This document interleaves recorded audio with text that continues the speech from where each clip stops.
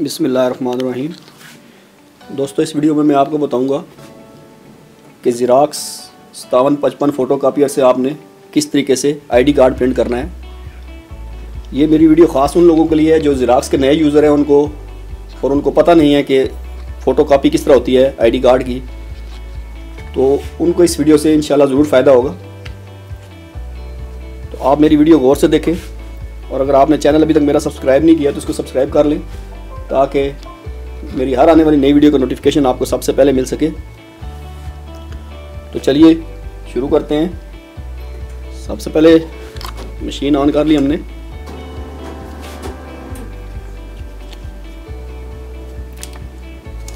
उसके बाद आपने आईडी कार्ड को ऐसे इस कोने में रखना है। ये ए सिक्स जहाँ पे लिखा है। इससे अगली अगली साइड पे। ऐसे यहाँ पे। यहाँ पे आईडी कार्ड आपने रख लेना है।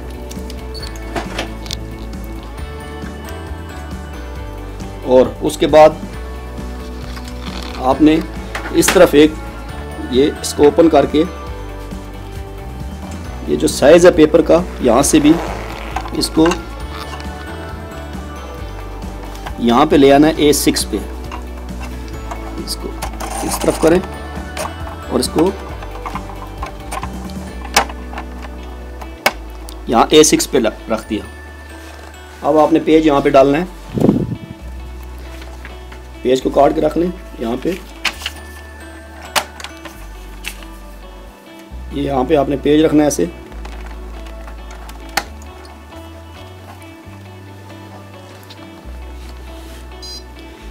और यहाँ से आपने मशीन से यहाँ पे ये नीचे मोर का ऑप्शन है। मोर के ऑप्शन पे क्लिक करना है। और यहाँ से आपने बाईपास ट्रे सेलेक्ट करनी है। बाईपास यहाँ पे होगी बाईपास ट्रे यहाँ से आपने वो सेलेक्ट कर लेनी है। बाईपास का ऑप्शन आ रहा होगा। यहाँ पे लाइट थोड़ी ज़्यादा इसलिए वो नज़र नहीं आ रहा। बाईपास इस तरह आपने बाईपास पे सिलेक्ट करना है, ये देखें। बाईपास जो वो मैंने सेलेक्ट कर ली और यहाँ से आपने इसको सेव कर देना है। सेव करने के बाद आपने स्टार्ट का बटन दबाना है।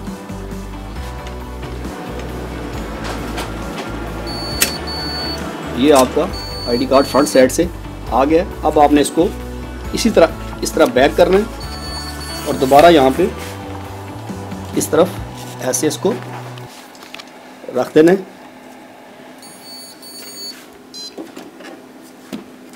और अब आईडी कार्ड को आपने इसी तरह, ये आईडी कार्ड आपका, आपने इसको इस तरीके से यहाँ पे, ये।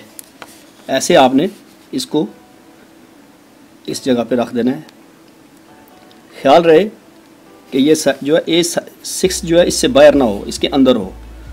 आईडी कार्ड ये, यहाँ पे आपने ऐसे रख देना है। फिर आपने दोबारा स्टार्ट का बटन दबाना है।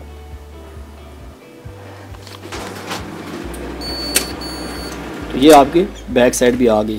फ्रंट बैक दोनों साइडें आपकी प्रिंट हो गई है। तो जब भी आपने आईडी कार्ड प्रिंट करना हो तो आप इस तरीके से ज़राक्स मशीन पे इसको प्रिंट करेंगे। तो दोस्तों, अगर वीडियो पसंद आई हो तो लाइक और शेयर ज़रूर करें और चैनल को सब्सक्राइब करना ना भूलें, ताकि मेरी हर आने वाली वीडियो का नोटिफिकेशन आपको सबसे पहले मिल सके। Thank you